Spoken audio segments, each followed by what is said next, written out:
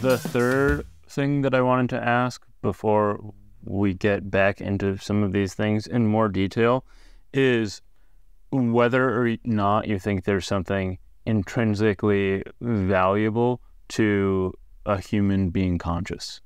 Right. So the more I study the matter, the less it seems to be morally important, and the more it seems to be pragmatically important.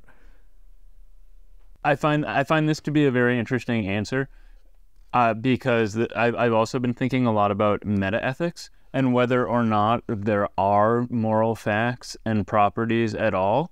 And if you think that human life and consciousness aren't valuable, things that ought to be promoted, it just seems like that is maybe the sort of canonical good thing. And if you don't think that this is good and morally important, then you're probably a moral anti realist and you don't think that there are good or bad things more generally. Right. So, um, well, I mean, as a as a neuroscientist, I do think morality is a product of the brain, mm-hmm.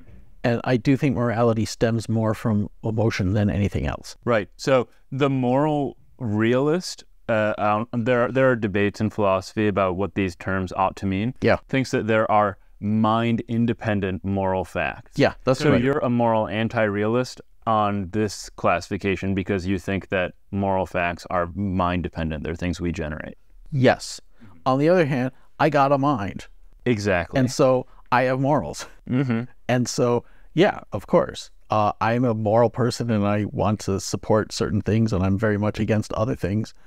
Um, and um, and I think morals are typically very the basic set of morals are really similar across people because our brains are very similar and we evolved in similar ways, uh, and we're all enmeshed in human cultures which share similarities.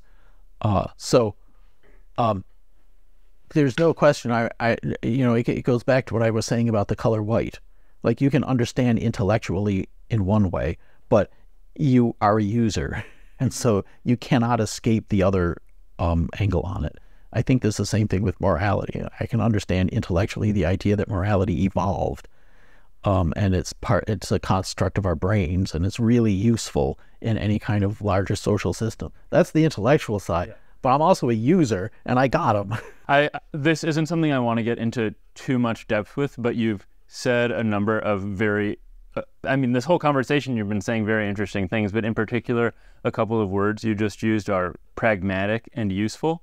And within metaethics, there is a, a, a family of views called moral quasi realism. Oh. And the moral quasi realist does not believe that there are these mind independent moral truths, but they think that, again, speaking very loosely, that we ought to take a pragmatic and useful attitude toward these terms and recognize that we have minds that experience the world in a moral dimension, that they're very useful qualities for living as people. And so we ought to be pragmatically moral realists. I see. I, I see. Is, is one way maybe of yeah, putting yeah. it. I mean, I'm not, I, I, I would say that it's not a matter of what we should be we are. Mm-hmm. And when I look at it, when I put my scientist hat on, my interest is in what is and how did it get to be that way, not in what it should be. And so you look at evolution, how did these things evolve? I'm not interested in how it should evolve or how it should in the future. Uh, I think it is pragmatic. It is useful. It did evolve because it gave a survival advantage to um, creatures that live in um, communities or social communities to develop these ways of thinking.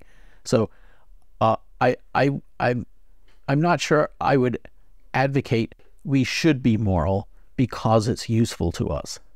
I think I would say we are moral because it was useful to us through evolutionary time, and that is why we are.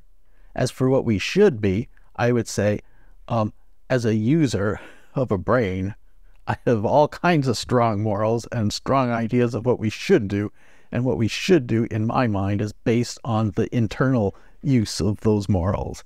Like we shouldn't go around hurting each other. I'm quite certain of that. Mm-hmm. And it's not because it's useful, it's because I feel it. Yeah. My morals.